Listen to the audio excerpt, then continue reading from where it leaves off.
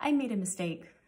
I made a huge mistake that lasted probably five years longer than it should have.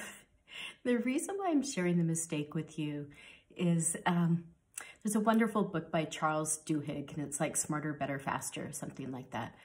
And in the book, he said, you know, not only should you go out and talk to people about what worked in their business, you really need to talk to people about the mistakes that they made because there's a gold mine of information right there. So here's a mistake I made. I was teaching classes and doing client sessions, and I had no understanding about how to handle the situations where people were asking to do trades with me or highly reduced session fees.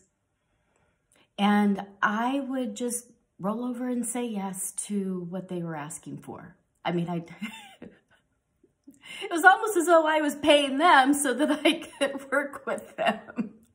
It was not a good situation and really challenging. And so what I finally had to do was get clear with myself. What were my boundaries? How many reduced fee clients could I have at a particular time? And how was I going to determine who could get a reduced fee or who couldn't? And once I put those in place for myself, I had a much easier time because I had a very clean answer. I could tell someone, I'm full on reduced payment clients right now. I'll let you know when a slot opens up. So it wasn't a hard no. I didn't have to feel like I was being mean to them.